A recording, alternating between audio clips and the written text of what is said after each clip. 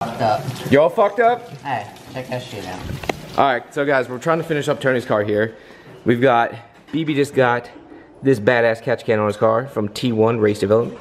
Badass little piece. Shout out to Stuart. Stuart, thank you, Stuart. But the real reason we're here is because of this. We're having fun tonight. Tony's learning how to put cams and how to do springs. He's doing a great job. Very, very, very good job, Tony. Muy guapo, muy guapo. Um, right now, we're checking for clearances. I'm gonna grab this from Tony here real quick. So guys, this is what's going on. So we're checking clearances between the cam and the actual bucket for the springs. Um, so right now, we wanna make sure there's plus or minus two thou um, from 10,000. So ideally it'd be 0.010. That would be like perfect. Uh, but you can be two thou less. You could be 0.008 or you could be up 0.0012. Anything above or below that, no good. It, it's no good for us. Um, we're getting shimless buckets, so this doesn't matter, but we need exact. If you can see here, these bad ones were way off. Like this one's 0.002. That's that's really messed up. That's no good. Hey, don't leave your beer in the freezer too long. Oh shit. And uh, hold on. FYI, guys, don't leave your beer in the fridge too long because that is a sludge. Can you drink it? Oh my God, look at it. Oi, papi, oi. Is it working? least it's Did- cold. Oh, it is cold. Look at him. Hey, Wait, he's used to that face right there. Usually, uh, guys, never mind. Anyways, uh, so back to what we were doing. So yeah, guys, so that's where we're at. I'll So, show him. I'll show them the next set I have to do. so let's go ahead and go. We got number five and six now, which would be cylinder number three. So, we're gonna come over here. So you Hold see, on. we just checked the lash on these two lobes. So now we have to check these. And what we want is the bucket is almost at like a 30 degree angle, I'd say. Correct. We basically want to get this lobe rolled around in line with that bucket. So let's go ahead and show them. Go ahead. So first off, we made sure all none of the pistons are top dead center, so we're not obviously going to have any interference Correct. with the valve train. Look how fast he's picking up that. He's fucking baller. I'm loving this. He's picking up so quick. That see that guys? I just want to show you from the side. See it's not straight up and down. It's about a 30 degree to 35 degree angle. And now he's gonna take the shim here. You can see these, Go ahead. so you see these small numbers here. So obviously 10,000 is what we're looking for. So we'll just start with that. And right here, it just clears. So That's what we want. I said we'd rather have tight than loose, if you know what we're saying. yeah, we'd rather have a little tight and a little loose. And look Think at of this that. one. This one's going really easy. So let's start with this one. Let's write this down. See, that's the girl. The girl on the left is the one you want to take home. The girl on the right's not the one you want to take home. You want to take home a little tight. You don't want to take home the girl that's a little loose. Remember that. So what, I'm gonna try this 11th thou just to be sure. No, 11th thou is not working. So it's 10th thou for sure on that. which is great. Ideally, 10,000 is perfect for this setup. These are HKS 272 cams, uh, and factory spec requires plus or minus 2 thou again, um, and 10 thou is, is ideal. So go ahead and get the next Well, one. I'm actually gonna jump to a 12th thou because I think we're gonna be going up quite a bit. So 12th thou doesn't Nah, it. still went in pretty nicely. Yeah. 13 thou, I think, is where we're at. Maybe I could be wrong. 13. Let's try the 14. That actually went a little easy. Well, that's nice and snug. Yeah, okay, so That 14. 15 is probably not gonna go. 15 shouldn't, but Nope. Okay, so it's 14 thou, guys. So there you go. So we had one that was spot on, one's not. So now we're off by 2 thou. When we order shimless buckets, we need to add that into the factor and then go across the whole board and check them all. So again, My hair, my terrible handwriting. If you guys look at this here, uh, again, the intake side. So right there, 5 and 6 of cylinder number 3, 10 and 14 thou. The 10 thou is good, but the 14 thou is 2 thousandths over and it's no good. So those were off, and this is why you have to check this stuff. If you would throw these in, this is how you throw a bucket or you mess up your springs and retainers. So here we find a wild Tony in his natural habitat. Tony, what are you doing? I am rigging up stanchions for the rear diffuser to quick disconnect from. That was a mouthful, but basically they're called quick latches. And uh, I don't know if you can go over the Yeah, you can see that, yeah. So this is the stud, and this spherical ball basically pops into the latch, and it actually has a little bit of play on the rotation. But instead of having like a bolt that'll hold this on, there's six bolts which are a pain in the ass to get to. Essentially, this will be like vertical. Actually, Ryan can use an example right here. Right here. That's finished product. Basically, the diffuser just presses up on it. As soon as they get over those balls, they just go clip, and then they're locked on until you press the button. Pretty simple. Pretty awesome. Good idea. All right, guys, so I'm back over here working on Tony's car right now.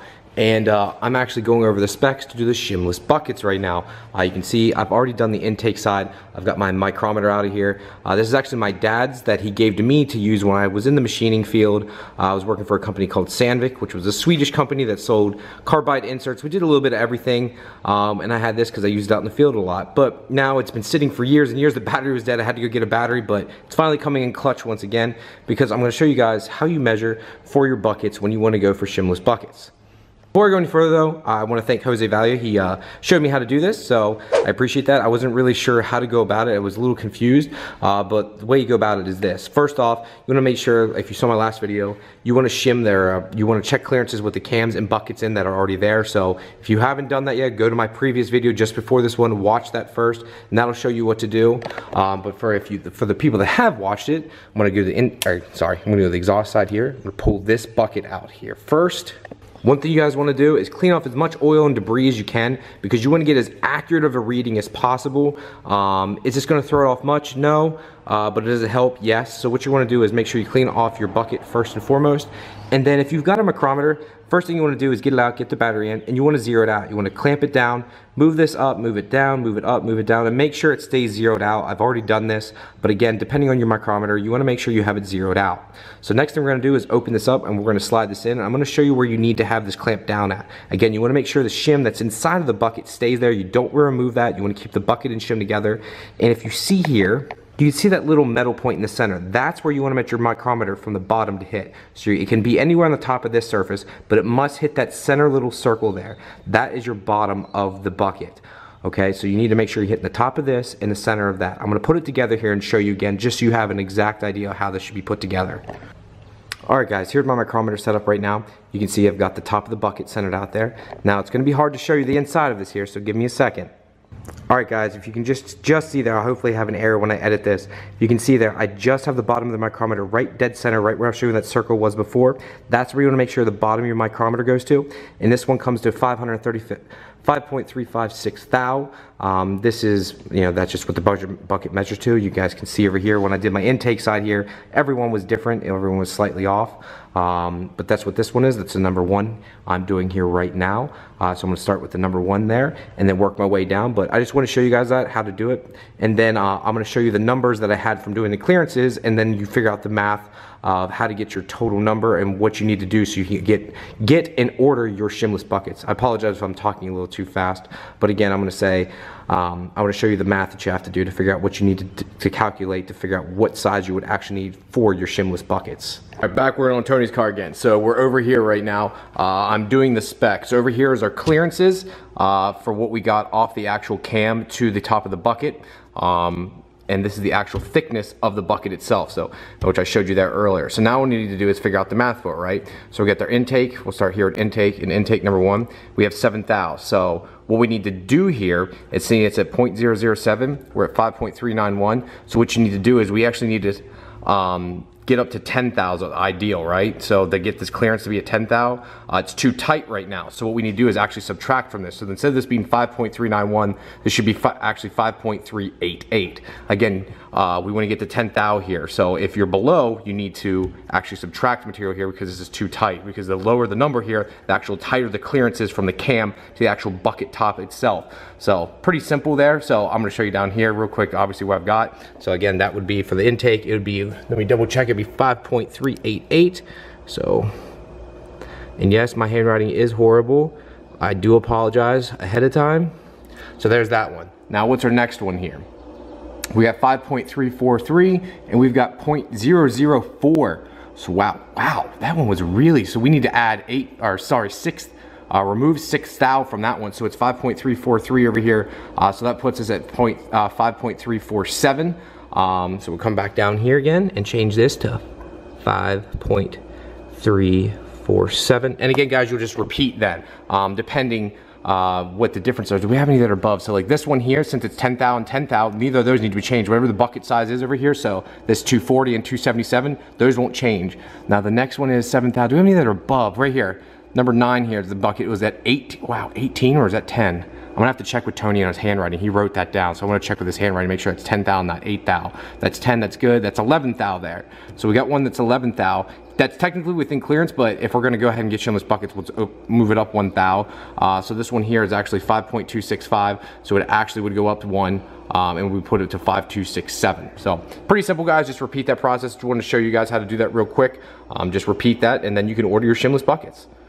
All right, guys, yes, my shirt is off because it is hot out here, uh, but I hope that helped. If you guys do have any questions or concerns, let me know down in the comments below. Uh, I try to do that as quickly as possible, but that's pretty the pretty basic uh, how it works. It just time consuming, very, very, very time time consuming. Take your time. Please be patient.